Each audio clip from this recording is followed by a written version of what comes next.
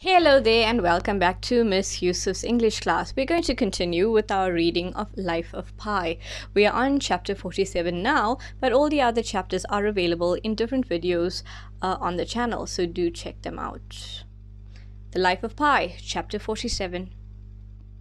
The day broke humid and overcast, with the wind warm and the sky a dense blanket of grey clouds that looked like bunched up dirty cotton sheets. The sea had not changed. It heaved the lifeboat up and down in a regular motion. The zebra was still alive. I couldn't believe it. It had a two foot wide hole in its body, a fistula like a freshly erupted volcano. Spewed, half eaten organs glistening in the light or giving off a dull, dry shine, yet in its strictly essential parts, it continued to pump, uh, pump with life, if weakly. Movement was confined to a tremor in the rear leg and an occasional blinking of the eyes. I was horrified. I had no idea a living being could sustain so much injury and go on living. The hyena was tense. It was not settling down to its night of rest despite the daylight. Perhaps it was a result of taking in so much food. Its stomach was grossly dilated. Orange Juice was in a dangerous mood too. She was fidgeting and uh, showing her teeth. I stayed where I was, curled up near the prow. I was weak in body and in soul, and I was afraid I would fall into the water if I tried to balance on the oar. The zebra was dead by noon.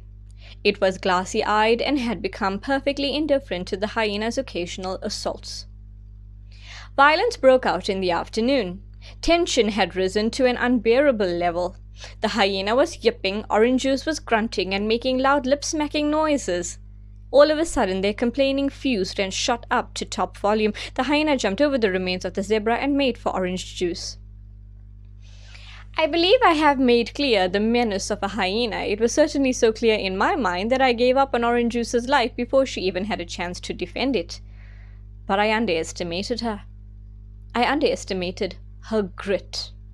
She thumped the beast on the head. It was something shocking. It made my heart melt with love and admiration and fear. Did I mention she was a former pet? Callously discarded by her Indonesian owners? Her story was like that of every inappropriate pet. It goes something like this The pet is bought when it is small and cute. It gives much amusement to its owner. Then it grows in size and in appetite. It reveals itself incapable of being house trained. Its increasing strength makes it harder to handle. One day, the maid pulls the sheet from its nest because she has decided to wash it, or the son jokingly pinches a morsel of food from its hands. Over some such seemingly small matter, the pit flashes its teeth in anger, and the family is frightened. The very next day, the pit finds itself bouncing at the back of the family jeep in the uh, company of its human brothers and sisters. A jungle is entered. Everyone in the vehicle finds it a strange and formidable place. A clearing is come to, it is briefly explored. All of a sudden, the jeep roars to life and its wheels kick up dirt, and the pet sees all the ones it has known and loved looking at it from the back window as the jeep speeds away. It has been left behind. The pet does not understand. It is as unprepared for this jungle as its human siblings are. It waits around for their return, trying to quell the panic rising in it, but they do not return. The sun sets. Quickly it becomes depressed and gives up on life. It dies of hunger and exposure in the next few days or is attacked by dogs. Orange Juice could have been one of these forlorn pets. Instead, she ended up at a Pondicherry Zoo. She remained gentle and unaggressive her whole life. I have memories from when I was a child of her never ending arms surrounding me, her fingers each as long as my whole hand picking at my hair. She was a young female practicing her maternal skills. As she matured into her full wild self, I observed her at a distance. I thought I knew her so well that I could predict her every move. I thought I knew not only her habits but also her limits. But this display of, display of ferocity, of savage courage, made me realize that I was wrong. All my life I had only known a part of her. She thumped the beast on the head, and what a thump it was! The beast's head hit the bench it had just reached, making such a sharp noise, besides splaying its front legs flat out, that I thought surely either the bench or its jaws, or both, must break. The hyena was up again in an instant. Every hair on its body was erect as the hairs on my head, but its hostility wasn't quite so kinetic now. It withdrew. I exulted. Orange juice's stirring defense brought a glow to my heart. It didn't last long. An adult female orangutan cannot defeat an adult male spotted hyena. That is the plain empirical truth. Let it become known among zoologists.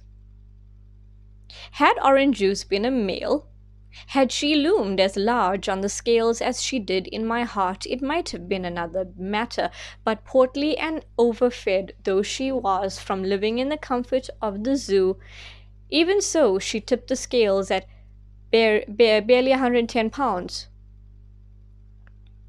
Female orangutans are half the size of males, but it is not simply a question of weight and brute strength. Orange juice was far from defenseless. What it came down to is the attitude and knowledge. What does a fruit eater know about killing? Where would it learn where to bite? How hard? For how long? An orangutan may be taller, may have very strong and agile arms and long canines, but it does not know how to use these as weapons. They are of little use. The hyena, with only its jaws, will overcome the ape because it knows what it wants and how to get it. The hyena came back. It jumped on the bench and caught Orange Juice at the wrist before she could strike. Orange Juice hit the hyena on the head with her other arm, but the blow only made the beast snarl viciously. She made to bite, but the hyena moved faster. Alas, Orange Juice's defense lacked precision and coherence. Her fear was something useless that only hampered her. The hyena let go of her wrist and expertly cut to her throat. Dumb with pain and horror, I watched as Orange Juice thumped the hyena ineffectually and pulled at its hair while her throat was being squeezed by its jaws. To the end, she reminded me of us. Her eyes expressed fear in such a human like way, as did her strained whimpers. She made an attempt to climb onto the tarpaulin. The hyena violently shook her. She fell off the bench to the bottom of the lifeboat, the hyena with her. I heard no noises but no longer saw anything. I was next. That was clear to me. With some difficulty, I stood up. I could hardly see through the tears in my eyes. I was no longer crying because of my family or because of my impending death. I was far too numb to consider either. I was crying because I was exceedingly tired, and it was time to get rest. I advanced over the tarpaulin. Though tautly stretched at the end of the boat, it sagged a little in the middle. It made for three or four toilsome bouncy steps, and I had to reach over the net and the rolled up tarpaulin, and these efforts in the lifeboat that was constantly rolling. In the condition I was in, it felt like a great trek. When I laid my foot on the middle crossbench, its hardness had an invigorating effect on me, as if I had just stepped on solid ground.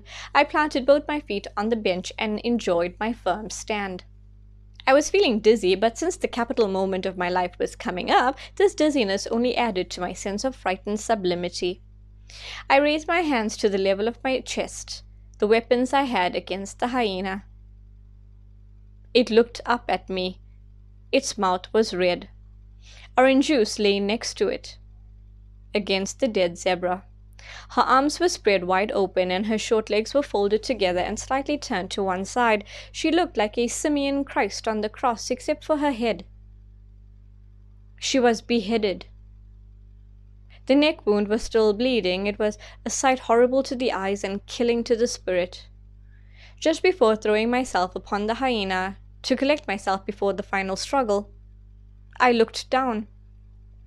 Between my feet under the bench I beheld Richard Parker's head. It was gigantic.